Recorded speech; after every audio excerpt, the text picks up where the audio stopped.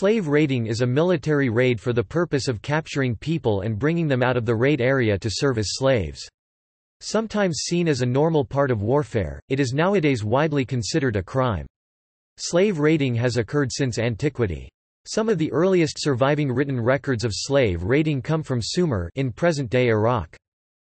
The act of slave raiding involves an organized and concerted attack on a settlement with the purpose of taking the area's people. The collected new slaves are often kept in some form of slave pen or depot. From there, the slave takers will transport them to a distant place by means such as a slave ship or camel caravan.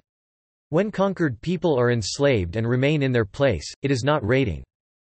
Slave raiding was a violent method of economic development where a resource shortage was addressed with the acquisition by force of the desired resource, in this case human labor.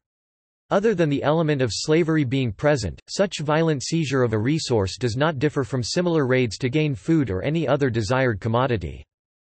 Slave raiding was a large and lucrative trade on the coasts of Africa, in ancient Europe, Mesoamerica and in medieval Asia.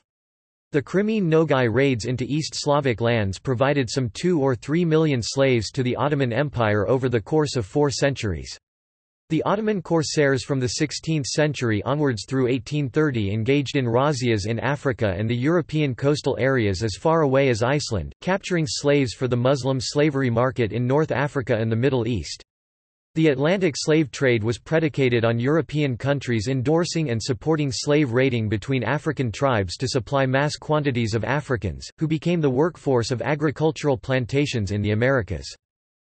The many alternative methods of obtaining human beings to work in indentured or other involuntary conditions, as well as technological and cultural changes, have made slave raiding rarer.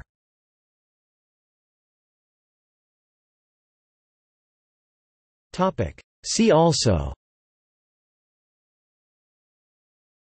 Abduction Bride kidnapping Blackbirding Crimean Nogai raids into East Slavic lands Turkish abductions. Shanghaiing